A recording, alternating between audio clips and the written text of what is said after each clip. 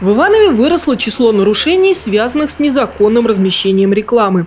Специалисты городской администрации регулярно организуют рейды по выявлению серой рекламы. Эта конструкция на Лежневской улице представляет собой баннер, закрепленный на автомобиле. Документов на нее нет и быть не может. Нам на Народный инспектор поступило обращение от граждан, которые были возмущены таким фактом а, размещения рекламы на автомобиле на брошенном. А, данная конструкция не является э, рекламной как таковой, а, но тем не менее этот факт нам рассмотрен, информация будет направлена в управление благоустройства.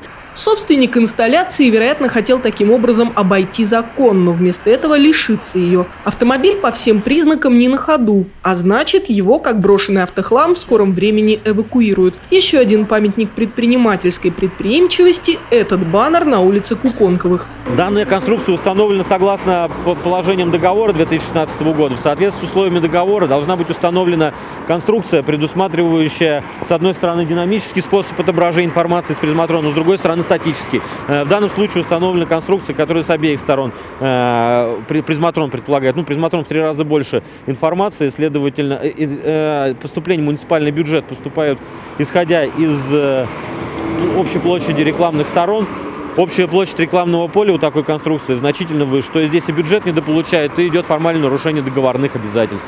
Пока это нельзя назвать незаконной рекламной конструкцией. Владелец прав на рекламное место лишь нарушил условия договора. В его адрес направили предписание устранить нарушение. А вот если он не отреагирует, тогда уже в процесс включится тяжелая артиллерия. Сначала с ним расторгнут договор, а затем конструкцию снесут. Наталья Гутарина, Денис Денисов, РТВ Иванова.